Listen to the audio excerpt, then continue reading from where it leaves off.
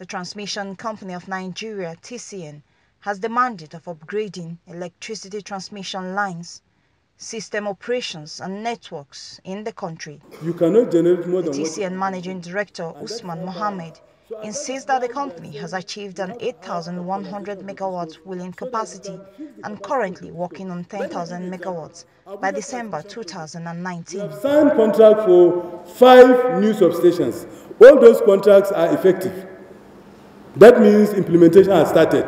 We have commissioned uh, uh, uh, Elisha, we have commissioned uh, the, uh, Maiduguri, we have commissioned several other substations, and we have added several new transformers across the region.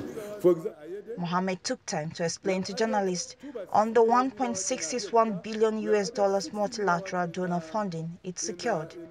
He however noted that everything TCN is doing on the grid will amount to nothing if distribution companies are not investing on their networks. we have no investment into the network of disco, and we have to have it. If you don't have it, all this dancing we are going to do. Of course, we cannot say we have to wait to disco to fix their network before we fix transmission.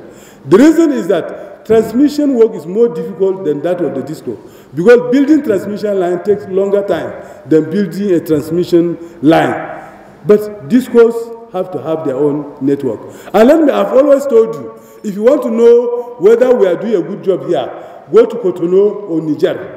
The power that's consumed in Togo and Cotonou and Niger, all of them between 80 and 90 percent is coming from Nigeria. But go there and see whether their power is qualitative or not. And go and see. The TCN has recovered 775 stranded containers abandoned over 10 years at the port, with two missing and one empty. And Mohammed believes the network reconstruction and rehabilitation is a journey on the right track as long as they have the backing of the key industry players. Mwesi Igonor, AIT News, Abuja.